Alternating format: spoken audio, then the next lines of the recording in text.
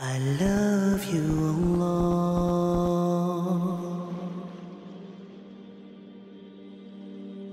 Uh, a few days ago, I had mentioned that the Prophet ﷺ told us, and the Quran itself mentions that every dua is responded to.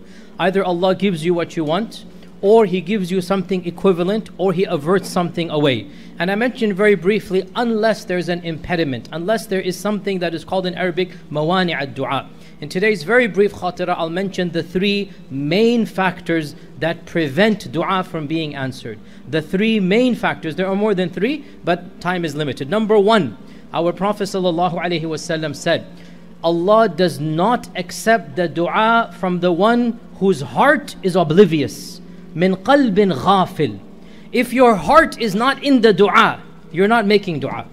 If you're just repeating something from a book, if you're just saying things like a parrot, if you have no idea what you're saying, if you don't have ikhlas and taqwa, you are just mumbling phrases. So the Prophet ﷺ said, Allah does not accept the dua from the one whose heart is somewhere else. Min qalbin ghafil.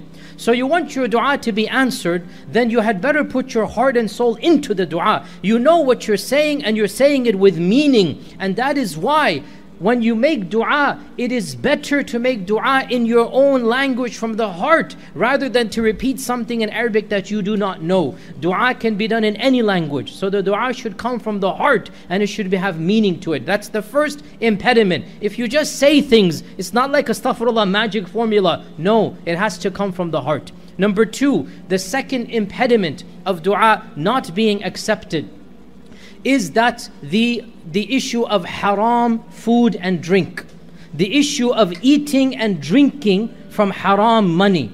So when your dua, sorry, when your body is being fed from haram, and when you don't care about where your money comes from, well then the dua will be rejected. And our Prophet ﷺ gave the example of the traveler who is far away from his family. He is tired, dusty, disheveled, and he's all alone. He raises his hands up to Allah. He says, Ya Rabbi, help me, Ya Rabbi, help me.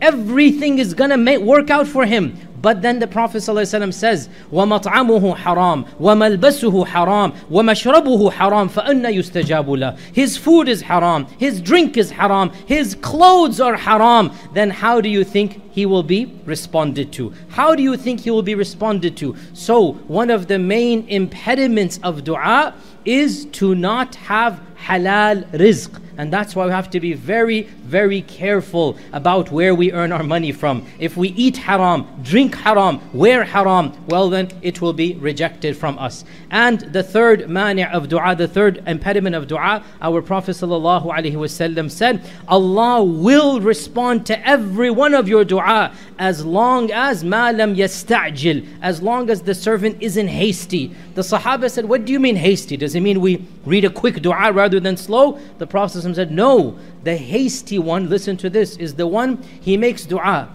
and he doesn't see the response. So he says, Allah is not going to respond, and he stops making dua.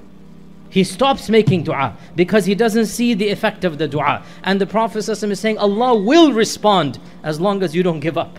So giving up on Allah, astaghfirullah, Giving up and saying Allah is not going to answer my dua is one of the main causes of dua not being responded. To summarize and conclude, number one, what is the number one issue of dua not being responded? When you're not paying attention, you're just saying things.